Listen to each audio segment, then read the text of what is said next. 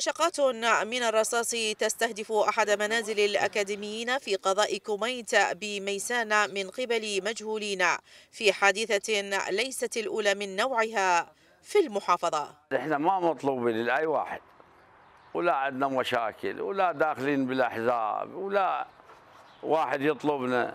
يعني تفاجأنا بالوحدة ونص بالليل صار علينا العتاد. بعد ما طلعنا ما لقينا شيء أحد. بسيارة ضربنا وراح دراجة ما عرفنا. لقينا بيتنا البيبان مسردة والمطبخ.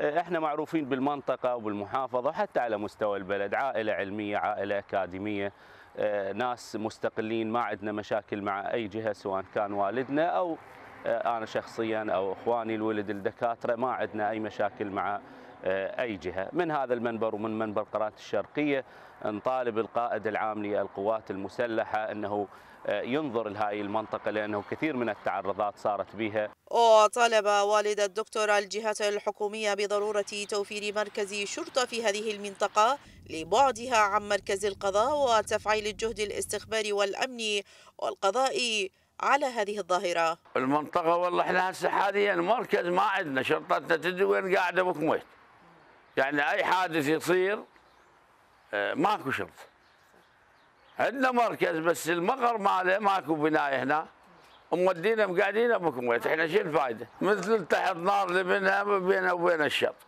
المركز بكويت قاعد وإحنا هنا صار الحادث وراح ماكو. تكرار استهداف الأكاديميين والمثقفين في المحافظة وسط خروقات أمنية من قبل جهات مجهولة بين فترة وأخرى. يشكل التهديد الأكبر على أمن ميسان واستقرارها بحسب مراقبين. لشرقية نيوز هناء القريشي ميسان.